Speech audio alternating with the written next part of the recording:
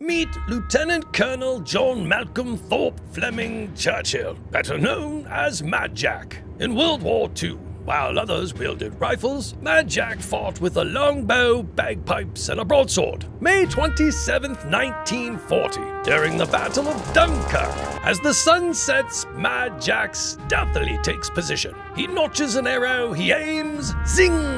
He's the last British soldier to fell an enemy with a longbow in battle. Fast forward to 1944 in Yugoslavia. Mad Jack, with his broadsword dangling, leads a night attack. They capture a German position and Jack exclaims, Commando! in victory. His valor strikes inspiration. But there's more. Captured in 1944, he escaped not once, but twice. Mad Jack, a warrior poet with a spirit untamed. His valor teaches us to be bold and embrace the hero within.